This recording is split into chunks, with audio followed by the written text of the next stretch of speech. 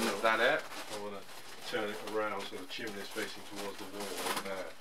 When I was running my 5 inch gauge steam locomotive last, I had a problem with the steam brake cylinder on the locomotive. So what I'm going to do is upend the locomotive and take a look at the cylinder and see what the problem is. This time lifting the locomotive I got my son Aidan to help. There we go. Great. Thank you, man. Wave to the camera.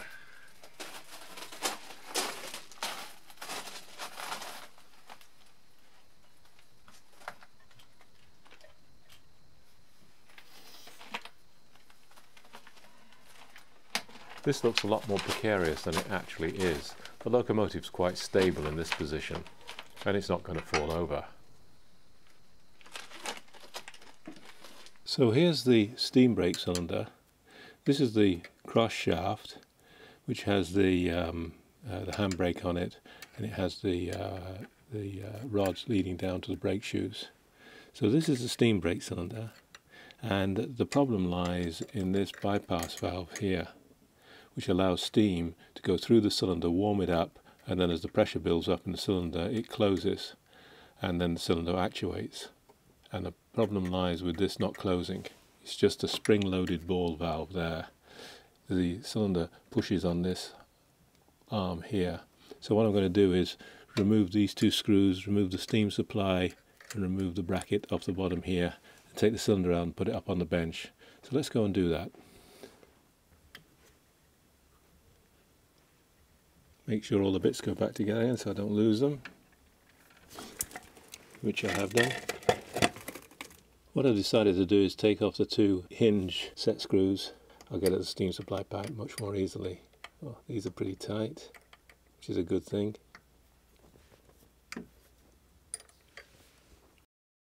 I've got the little stud out finally out of the um, the pivot on the steam brake. Now I can move it a little bit so I can get at that um, connection.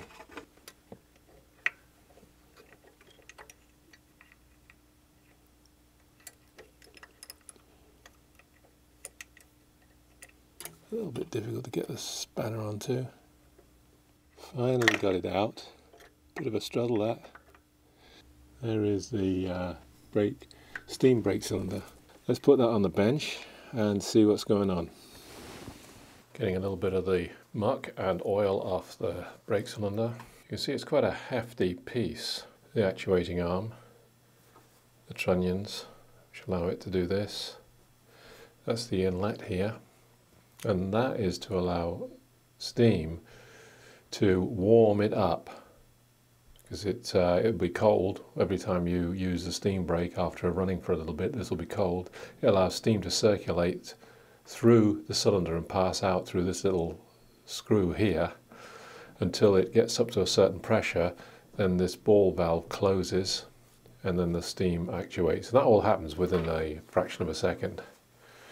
The um, cylinder has a spring at the end of it so it self returns it's got an o-ring in it uh, hopefully I don't have to take the uh, cylinder head off but uh, what I need to do is look down in here because this is where it was passing the steam out of and not actuating it like the, the ball valves got stuck. So let's take this off.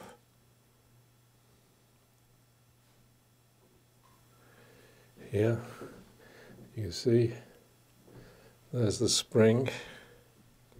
See the spring there and you can see the little ball there the ball valve there. The spring sits in here like that, just protruding a little bit, keeping the ball off, and the ball rides on top of the spring, and when the steam pressure builds up, it sits against that face there and doesn't allow steam out. What I'm going to do first is clean this out with a cotton bud. No, it's pretty clean. So this is the seating surface I think I need to do a bit of cleaning up of this. I'm giving the ball, the stainless steel ball, a little bit of a clean. I'm not going to replace it just yet. So that fits on there. That is the seal. Spring looks to be okay. I'm going to use a center drill in my hand just to clean round on the seat. The other thing I'm going to clean this with a bit of wire wool, just delicately. What I'm going to do is hammer the ball into the fitting here to get the seat proper. One sharp hit should do it. So now that seat should be better fit, but the ball has to be thrown away because it's got a dent in it now.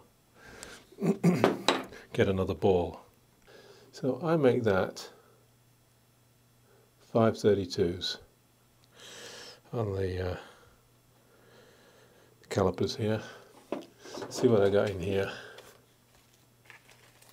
Quarter inch, quarter inch, 532s. Looks good. Always found these packages difficult to get open.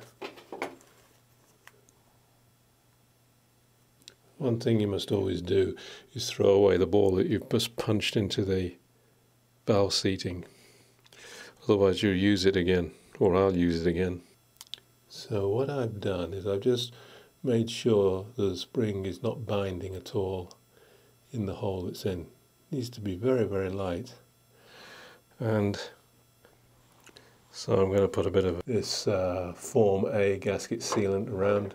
I'm going to be very careful I don't get the inside the chamber here. Nice black stuff. Uh, a little bit on the end of a screwdriver. Need very little.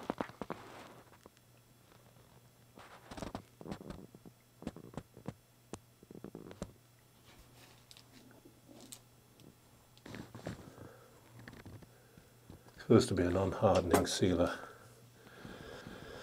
I'm a little reluctant to use Loctite thread sealer because that can get very tight. This one stays malleable.